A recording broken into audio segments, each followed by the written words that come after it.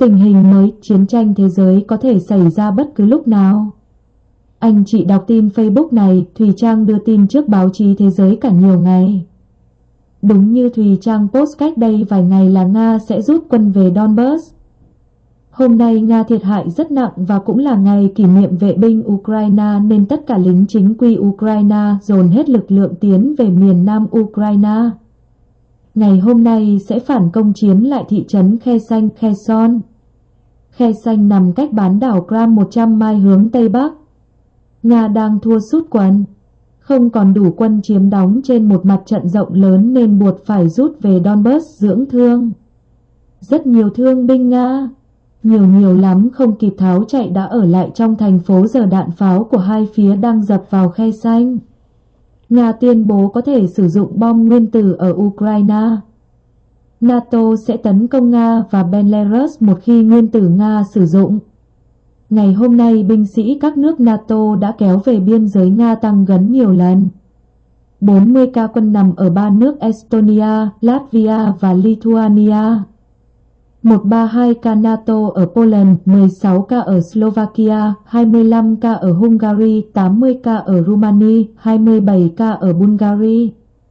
Tổng số quân NATO bao vây biên giới Nga và Belarus hiện nay là 640,000 quân. Đây là con số tăng gấp 8 lần hơn trước khi Nga xâm lăng Ukraine.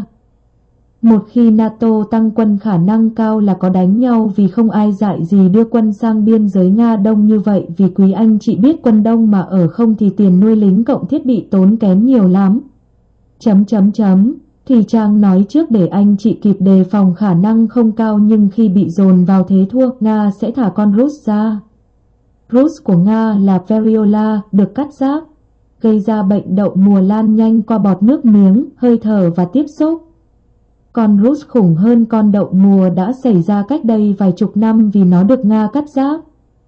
Nếu quý anh chị tinh ý vào search các trang của CDC của Mỹ thì biết là năm 2021, tức một năm trước Mỹ đã dự trữ đủ lượng vaccine đậu mùa cho người dân nên nhớ rằng thế giới đã không còn trích vaccine đậu mùa từ năm 1972 nhưng vì sao năm 2021 Mỹ lại trữ vaccine này đầy đủ trích cho dân Mỹ, chỉ cần tinh ý sẽ hiểu tương lai ra sao. Một khi con Rus được thả ra thì quý anh chị sẽ là những người đầu tiên được biết, do đó nếu có cơ hội một khi y tế nước Mỹ đưa vaccine ra thì hãy trích liền nhé con Rus mạnh hơn chị Vi nhiều. Nước chanh cam nóng đầy đủ mỗi ngày 2 ly không để thiếu nước và thuốc trị Rus sẽ là Tecoviramus TPOXX. Có tin mới Thùy Trang sẽ cho biết giống như 3 năm trước đây khi mình đưa tin cách chữa chị Vi, đồng thời cho biết chị Vi sẽ tấn công vào đâu thì một số người vào comment cười.